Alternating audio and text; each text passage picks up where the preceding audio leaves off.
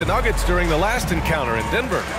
They really threw their weight around last time. They got to the free throw line a lot, and it helped secure the win. No doubt that's what made the difference. The aggression they showed, attacking, drawing contact. It got them. Trains the triple. And the Nuggets lead by nine. Their strategy has been pretty simple here in the second half. Attack from three-point range.